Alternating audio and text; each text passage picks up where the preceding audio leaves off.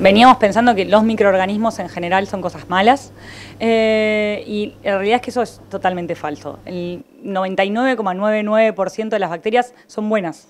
De hecho, en todo nuestro cuerpo tenemos bacterias eh, y lo que nosotros hacemos es justamente estudiar un poco, eh, en particular en el intestino, eh, cuál es el impacto que tienen distintos compuestos, eh, tanto en la resistencia a las bacterias malas, para poder establecerse ahí, como en las bacterias buenas eh, que producen compuestos que nos defienden de que nos infecte una bacteria que nos puede causar una enfermedad. Y nosotros tratamos de identificar cómo funcionan estos compuestos, cómo las bacterias responden a estos compuestos, cuál es ese diálogo entre los compuestos, las bacterias y las bacterias entre sí. El trabajo se basa sobre el funcionamiento de ciertas proteínas de los gérmenes que permiten escapar de los antibióticos y defender el organismo en caso de enfermedades. La manera en la que el cólera determina si es un lugar seguro para infectar tiene que ver con estos compuestos. Entonces, en presencia de estos compuestos, el cólera no infecta. Entonces, estos compuestos podrían ser usados como estrategias para detener una infección. Eso por un lado. Y por otro lado, entender qué bacterias son las responsables de producir estos compuestos en el intestino y cómo se producen, en qué condiciones, nos permitiría usar estas defensas que tenemos adentro de nuestro intestino para evitar infecciones. Todas las bacterias en general tienen capacidad de producir estos compuestos. Se sabe que si no pueden producirlos, eh, pierden la resistencia a los antibióticos. Eh, entonces, entender cómo se producen también nos da una avenida para atacar la resistencia a antibióticos. La doctora en química explica que por un lado se hacen preguntas biofísicas muy fundamentales sobre cómo funcionan estas proteínas que nos pueden dar respuestas de cómo las bacterias responden a situaciones de estrés. El corazón del laboratorio es trabajar con, unas proteínas de las bacterias eh, que les permitan responder en frente a estrés y eso lo aplicamos tanto en bacterias intestinales, como es en este proyecto, como en medir contaminantes en agua, porque podemos agarrar a estos sensores que tienen las bacterias para ciertas situaciones de estrés y ponerlos en un tubo aislados y hacer sensores eh, fluorescentes de contaminación en agua. ¿Llevó mucha investigación llegar hasta este momento? Bueno, eh, la realidad es que empecé a trabajar en, este tema cuando todavía estaba en Estados Unidos haciendo el postdoc. Eh, y este tema se llevó buena parte de los primeros años del laboratorio. Eh, en este tema hay al menos dos tesistas doctorales trabajando, que tienen sus tesis ya bastante avanzadas.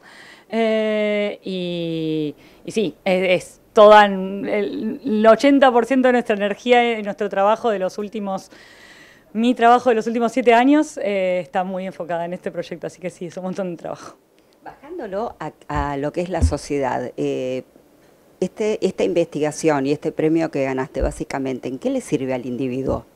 Bueno, yo creo que por un lado eh, está la idea aplicada más directa, que es si tenemos estrategias para luchar contra la, resistencia antimicrobiana o con las infecciones bacterianas en general eh, intestinales, eso es algo que, redunda en un beneficio para la sociedad entera. Entonces, más allá de, la parte aplicada, eh, el, el premio tiene mucho que ver con la parte de ciencia básica, de tratar de entender cómo funciona este proceso, que uno piensa que esto no tiene ninguna aplicación en la sociedad, pero construir una comunidad científica sólida, eh, que se estén formando nuevos doctores en Argentina, que estemos trabajando en un tema en, el que Argentina no trabajaba tan activamente antes, eh, es gran parte de lo que se premia y es un valor en sí mismo para la sociedad porque nos permite tener soberanía del conocimiento, que es algo que nos va a permitir no solo resolver este problema en particular, sino muchos otros. Por el reconocimiento, la doctora Capdevila, quien dirige un grupo de siete científicos en el Laboratorio de Fisicoquímica de Enfermedades Infecciosas, recibió un premio de 15 mil dólares para profundizar sus investigaciones. Yo creo que el premio para nosotros es un incentivo eh, muy grande en el sentido de eh, tener soporte económico en este momento eh, de tanta incertidumbre es algo fundamental.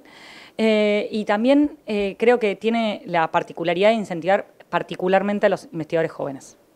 Eh, que es algo que la mayoría de las distinciones no hacen o están empezando a hacer y esperemos que haya muchas más en esta dirección. 15 mil dólares que vienen de fondos de, eh, que pone Josefina Leluar, que es la sobrina y ahijada de, mm, de eh, Luis Federico Leluar, el fundador de este instituto y además uno de los premios Nobel que más bueno, uno de los premios Nobel argentinos, pero el, seguro para nosotros más entrañable. y eh, esta nota es, una excusa para pensar en qué otras áreas que podemos apuntalar estaría bueno que existan este tipo de reconocimientos que son claramente importantes para, para que sigamos apostando a hacer ciencia en el país. No son los únicos, necesitamos un Estado presente, necesitamos buenos salarios, pero también eh, está bueno que tanto instituciones públicas como privadas se ocupen de que haya más científicos en Argentina y sobre todo científicos jóvenes.